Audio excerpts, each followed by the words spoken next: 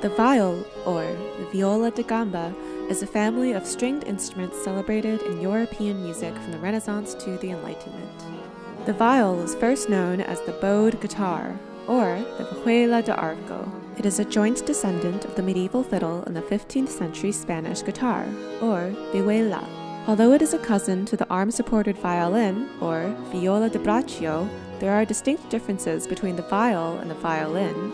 First, the viol is held upright on the leg, a gamba, or between the legs, and its bow is gripped underhand. Second, the body of the viol is made of bent or molded wood. Both of these characteristics lend a distinctive lightness and resonance to viol sound that have inspired a wave of new works by 21st century composers and a growing enthusiasm on the part of international audiences. Today, on both sides of the Atlantic, soloists as well as viol groups known as consorts have rediscovered the lost repertoire and ethereal beauty of this early instrument.